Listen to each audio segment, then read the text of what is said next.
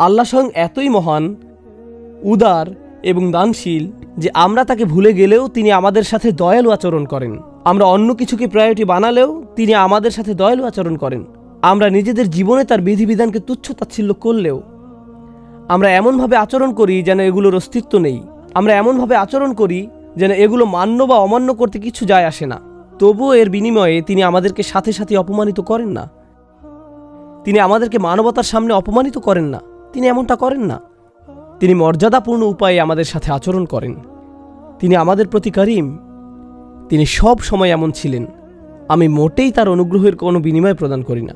বারবার তাকে অগ্রাহ্য করি এবং তিনি যা করতে বলছেন সেটা অগ্রাহ্য করি। আমি দ্বিতীয়বার এটা নিয়ে আর চিন্তাও করি না। আমি ধরে নিয়েছি আল্লাহ শুধু দিয়েই যাবেন। তিনি সব সময় আমার যত্ন নিয়ে আসছেন। তিনি বুঝেন, এটা কোনো ব্যাপার না। কিন্তু শেষ বিচারের দিন আমি বলব না, আল্লাহ বুঝেন। সেই দিন আমি কপাল চাপড়িয়ে বলতে থাকব, হায়, কি করলাম আমি? আলিমাত নাফসুম্মা কদ্দামাত ও আখারাত। হে মানুষ কিসে তোমাকে তোমার মহানুভব প্রভু সম্পর্কে বিভ্রান্ত করল? এরপর তিনি কীভাবে মহানুভব?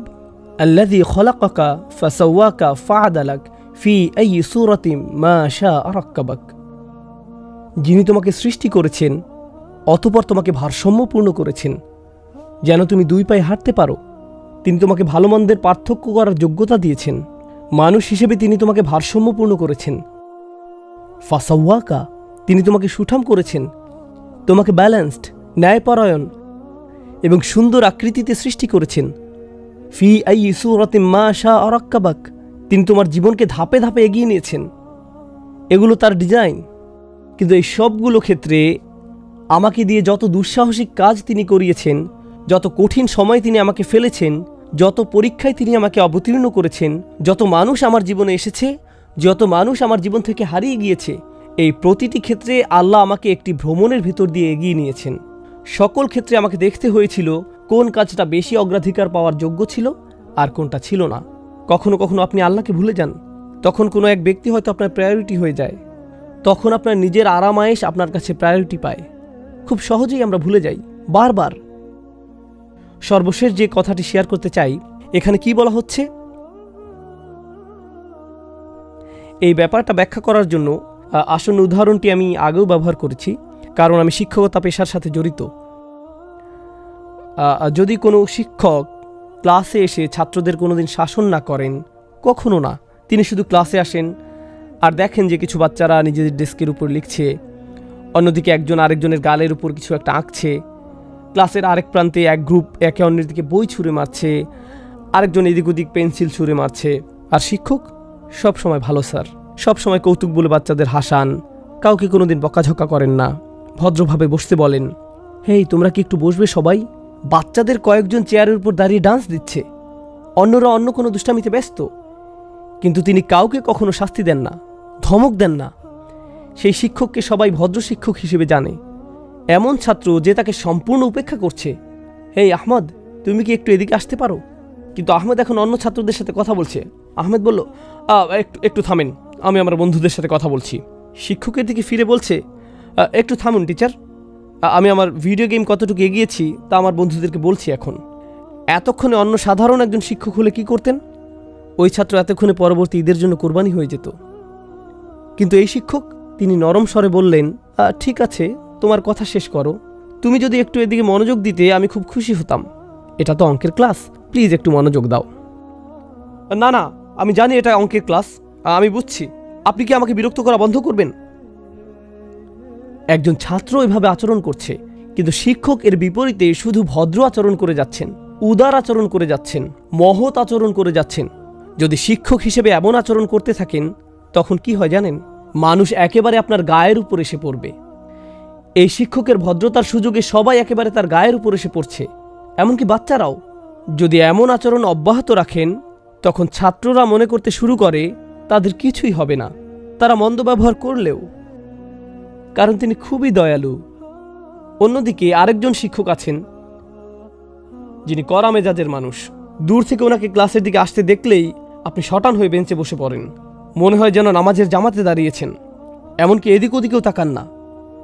কেউ যদি কর্তৃত্ববাদী হয়, তাকে দেখলেই শির দ্বারায় কাঁপন শুরু হয়ে যায়।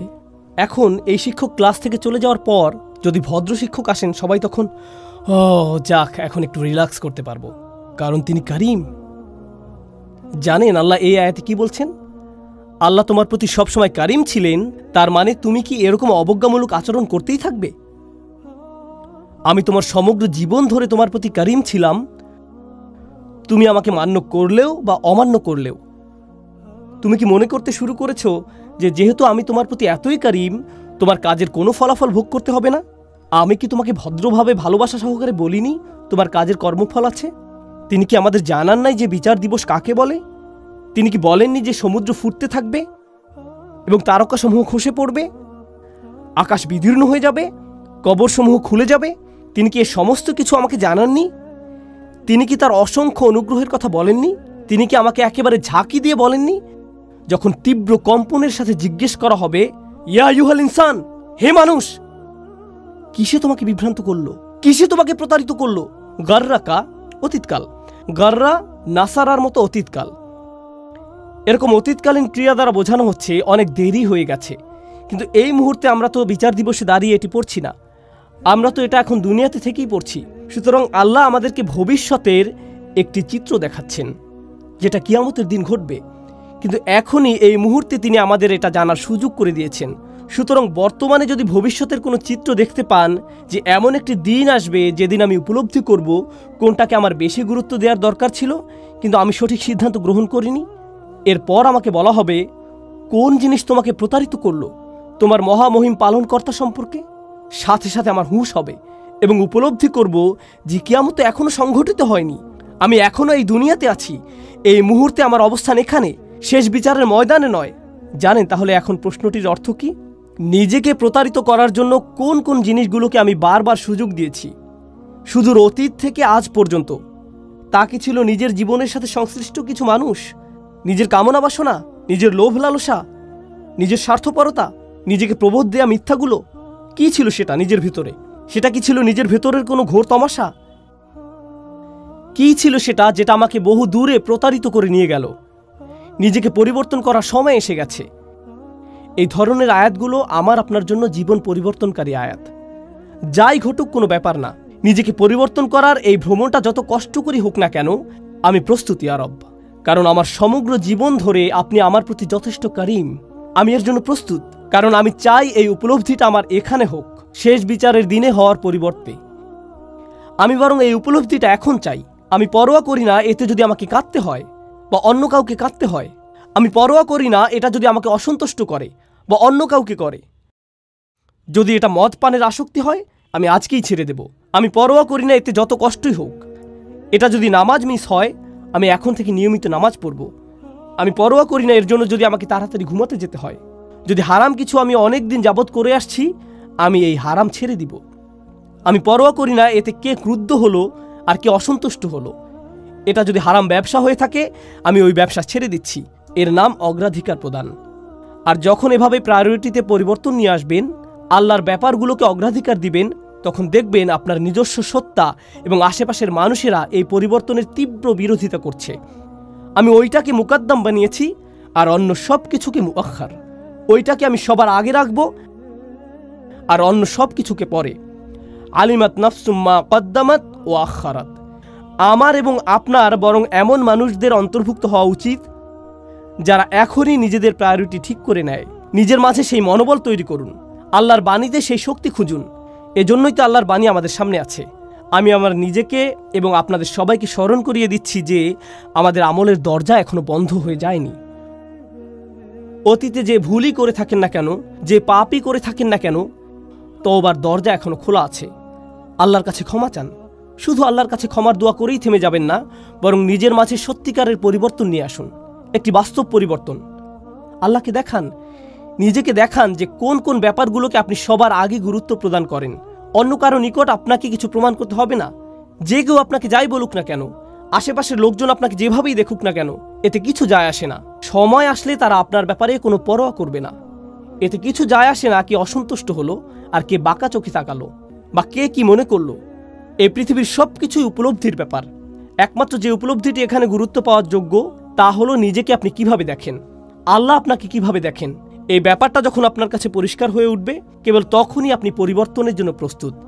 আর যদি তা না হয়, তবে যে ধ্রুবকগুলোকে আমরা প্রতিনিয়ত দেখছি, যেগুলো জীবনের অংশ, যেগুলো সব সময় বর্তমান থাকে, আল্লাহ বলছেন, যদি তারকারাজির যেখানে থাকার কথা সেখানে না থাকে, সমুদ্রগুলোর যেখানে থাকার কথা সেখানে না থাকে সেগুলো এখন তো আর স্থায়ী কোনো জিনিস নয়। তখন মানুষের অভিমতকে কেন তুমি স্থায়ী কিছু মনে করছ? নিজের প্রায়োরিটি ঠিক করুন। আমাকে আমার অগ্রাধিকারগুলো ঠিক করতে হবে। আল্লাহ আজ্জাল্লাহ আমাদেরকে তাদের অন্তর্ভুক্ত না করুন, যারা প্রতারিত হয়, যারা তাদের রবের উদারতার এমন সুযোগ গ্রহণ করে যে শেষ বিচারের দিন ক্ষতিগ্রস্ত হয়। আল্লাদি খলাকা ফি সূরাতিম মা শাআ রাক্কাবাক। নিজের ফ্রি সময়, আমি আবার বলছি, এটা সুরাতুল ইনফিতার।